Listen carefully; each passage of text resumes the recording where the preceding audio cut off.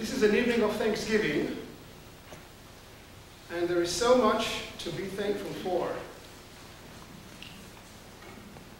Friendship, family, community, the bounty of nature, the beauty of the Berkshires, and the gift of art.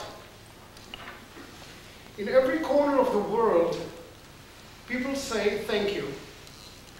But the derivation of the word is fascinatingly different. Our own thank comes from to think, meaning my thoughts are directed towards you with gratitude. It's the same in German. Danken and denken. Danken is to think, denken is to thank. Expression of giving thanks was gratias, which survives today in Spanish, gracias, and in Italian, grazie, both related to grace and to gratis. So when you do something gratis, you do it for thanks and for nothing more.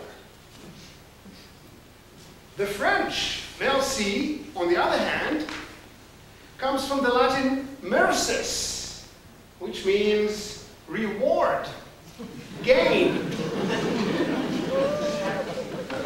merchant, commerce, mercenary, which reveals a more material turn of mind. Let's do one more. The Russian word for thank you is spasibo, a combination of two words, spasibo, God save. Now, in an atheistic regime, where a person could have gone to the gulag for expressing, expressing any religious sentiment, millions of Soviets routinely said, God save, times a day. The irony of language is fantastic. The uh, politician and novelist André Malraux was invited to this country to receive an award. And he was a bit uneasy because he did not speak any English. And his hosts reassured him and said, uh, there's nothing to it. You just say, thank you after the speeches. After you receive whatever it is, say thank you.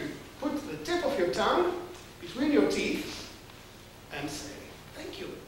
So you can imagine Malraux in his hotel room practicing in front of a mirror all afternoon. And then came the evening, he was quite excited and very nervous, and he received the honors. It must have looked like one of those useless soup tureens with two handles and some inscription on it. And he turned to the audience and said, Merci.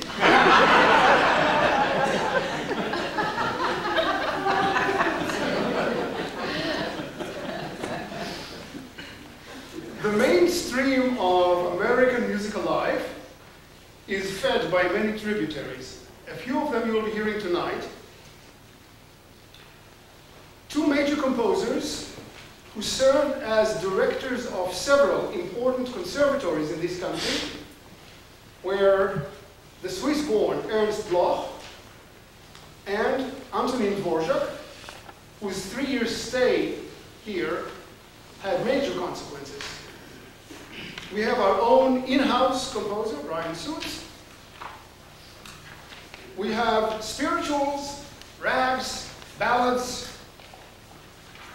and we have made Charles Gounod an honorary American for tonight because his little piece is so uplifting and so fitting for our theme.